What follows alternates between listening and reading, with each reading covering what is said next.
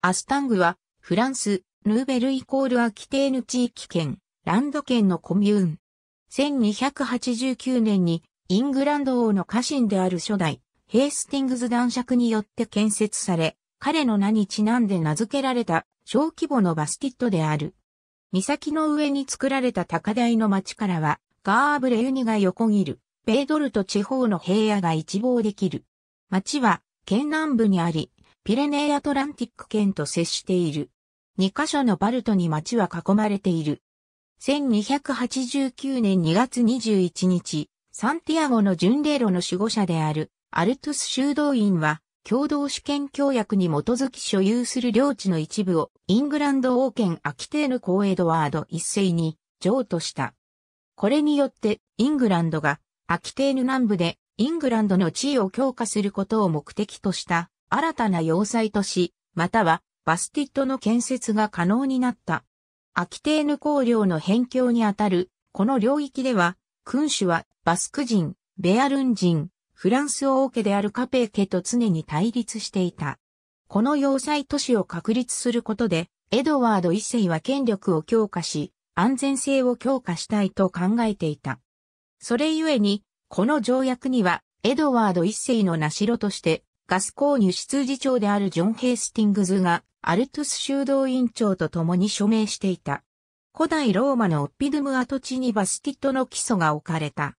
1289年に始まった石壁の建設工事は完了せず、多くの損傷を受けた。最初の都市開発工事は、1303年から1306年の間に行われた。1304年、酸素部、ル教会の建設工事が始まった。同じ年、44世帯に74メートル12メートルの区画が割り当てられた。彼らはそこに30メートル12メートルの住宅を2年以内に建設しなければならなかった。各住宅の間にはアンドローヌという空間が設けられた。アンドローヌでは雨水を貯水でき、火災の拡大を防ぐことができた。都市の壁の外では、どんな男も6ジュルナードで開墾と農作を行うよう配置された。町の門は1307年から1310年にかけ建設された。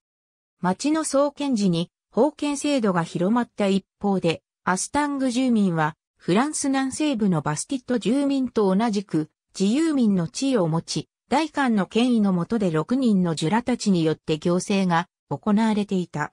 1321年、イングランド君主エドワード2世によって都市特権が確認された。その後、毎週の市場と年2回の見本市が開かれた。イングランドが占領した時代には、ジュラの管理下で通貨が鋳造された。商品、安全保障、司法及び貿易の組織は、1326年の検証で管理されていた。